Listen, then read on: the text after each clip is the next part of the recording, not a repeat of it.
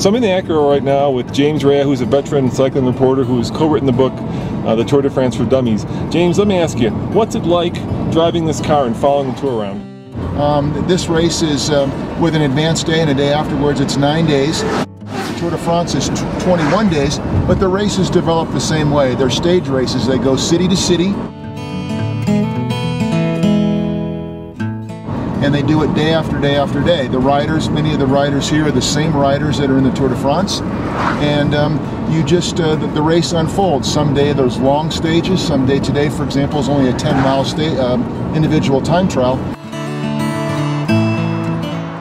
But each day just unfolds, and, and a, a, guy a guy goes into the lead, and and you follow the peloton. Uh, 130 riders in this race. Well, the interesting thing about this race is that we have the top three guys from this year's Tour de France, Cadel Evans and the, and the two brothers, um, Andy and Frank Schleck. And I think, um, speaking a little bit freely, they mean they're very strong riders, but they're also here as paid riders. I mean, they've invited them here, and, and, and they're not here probably not to win the race, but um, they're here uh, post Tour de France on kind of a global whirlwind tour. The other riders, there's a mix of, you know, veteran Tour de France riders. George Hincapie, 15 times Tour de France finisher, won yesterday's stage. There's Levi Leipheimer, who's, you know, a, a podium finisher at the Tour de France. So you have a mix of veteran European riders, veteran American riders. How are you covering this race? Tell me about what it's like to cover the race. Do you go to the start and then drive to the finish, or do you just go to the finish?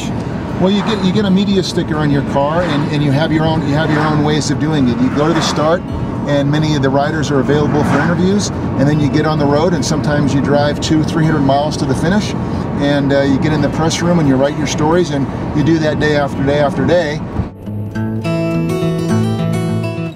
Well, yesterday was what they call the Queen Stage. Um, we went over uh, two passes uh, of more than 12,000 feet, and, and in the Tour de France, they never gone over a pass more than maybe 8,500 feet. Of course, they're in meters in Europe.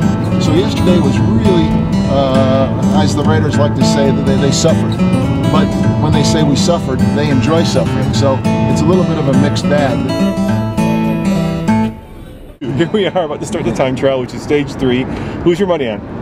I think today I'm going to go with uh, Tom Danielson. He's a Colorado rider based in Durango, and he's focused on this race for a long time. He's a good uphill time trialist. So I think I'm going to go with Tom Danielson today. All right. Well, um, when this uh, video airs, the race will have been over, so you'll see if James is right or not. So we'll see. We'll check see. the internet for results.